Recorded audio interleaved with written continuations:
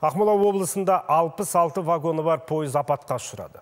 Көкшетау бекетінде жөнелтуге даярлық кезінде 19 вагон көпірден шығып кетіп, өзенге құлаған.